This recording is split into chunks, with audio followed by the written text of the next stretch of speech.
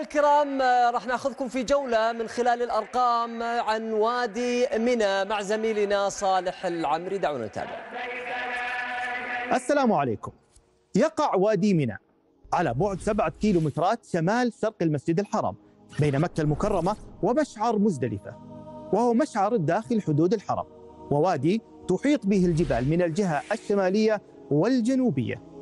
ولا يسكن إلا في الفترة التي يؤدي فيها الحجاج مناسك الحج ويحده من جهة مكة المكرمة جمرة العقبة ومن جهة مشعر مزدلفة وادي محسر ويعد أكبر المشاعر مساحة في مكة المكرمة.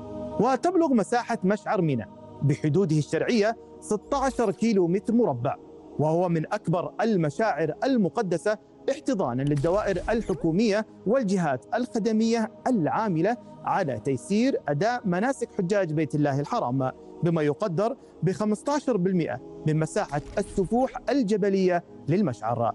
وتستخدم المساحة المتبقية لنصب الخيام من أجل إيواء الحجاج على مساحة تقدر ب 2.5 مليون متر مربع. تستوعب نحو 2.6 مليون حاج.